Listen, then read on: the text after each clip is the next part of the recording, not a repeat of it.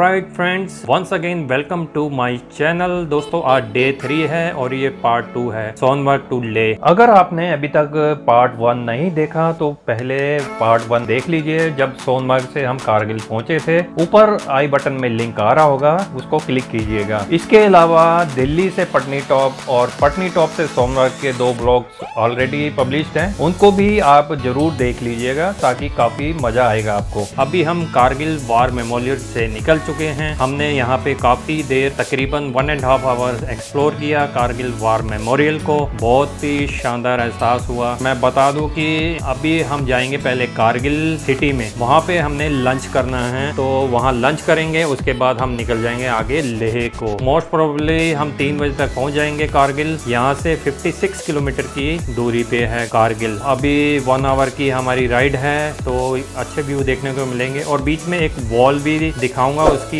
एक स्टोरी है, एक हिस्ट्री है। रातों रात उस वॉल को बनाया गया था ताकि हमारे जो भी आर्मी के व्हीकल्स हैं डायरेक्ट फायरिंग रेंज में ना आ सके दुश्मन की। जो क्योंकि वो सामने पहाड़ियों पे बैठे थे तो ये हाईवे उनकी बिल्कुल रेंज में आता था। तो वो आगे मैं दिखाऊँगा वॉल जो बनाई थी रातों रात। तो अब हम आपको मिलेंगे सीधा कारगिल।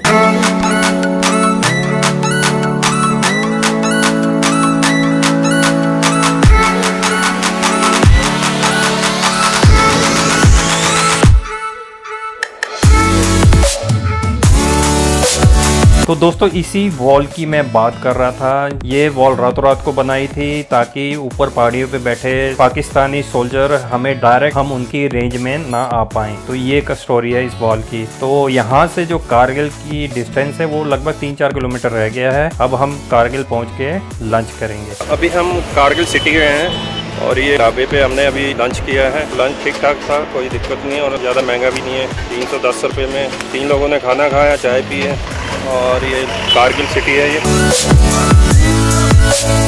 चल रहे हैं आगे, देखिए कहाँ तक पहुँचते हैं आज, शाम तक bye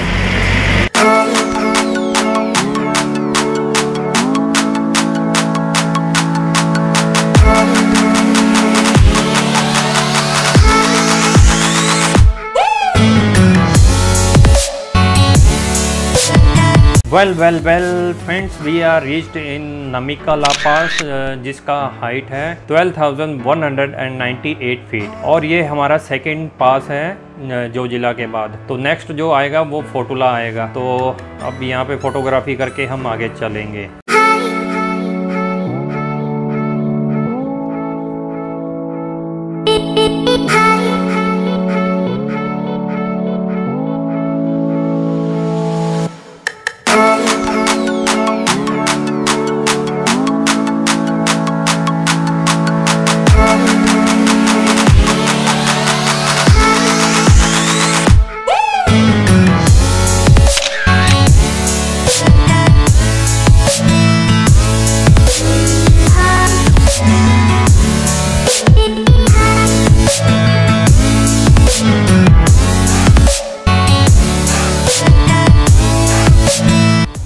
काफ़ी जग जग चलने के बाद माउंटेन्स बाइकिंग करने के बाद, अब हमें एक प्लेन हाईवे मिला है। दोनों तरफ़ माउंटेन्स हैं, हिमालय रेंज है, और इसके बीच से एक बिल्कुल स्ट्रेट हाईवे मिला है। बहुत ही मज़ा आ रहा है बाइक चलाने में, क्योंकि अभी तक हम माउंटेन के अंदर ही घूम रहे थे, और घूम घूम के, घूम घूम के पता है आपको कैसा हो जाता है। और अभी तक का सफ़र मैं बताऊँ दोस्तों, इतना शानदार है ये रूट लाइफ में, ज़िंदगी में अगर आपको मौका मिले तो जो श्रीनगर से ले का रूट आप ज़रूर कीजिएगा और बाय रोड कीजिएगा। मेरी पर्सनल रिक्वेस्ट है ये आपसे आपको ज़िंदगी में कुछ देखने की ज़रूरत नहीं पड़ेगी। बहुत ही शानदार। एवरी मोमेंट हर स्टेप पे, हर मोड़ पे आपको नया नया लैंडस्केप दिखेगा। नज़ारे नज़र आएँगे। वो गदर ग्रेट तो नेक्स्ट अब आगे मैग्नेटिक हिल आएगी। वहाँ पे थोड़ा हम रुकेंगे, उसके बाद आगे चलेंगे। अभी अंधेरा होने वाला है, काफ़ी समय और हो रहा है। हमें लगभग रात हो जाएगी, ले पहुँचते पहुँचते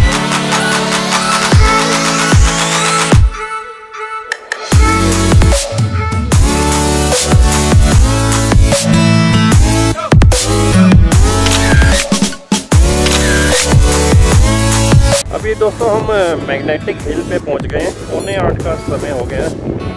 अभी भी रोशनी है यहाँ पे। ले लगभग 35 किलोमीटर की दूरी पे है।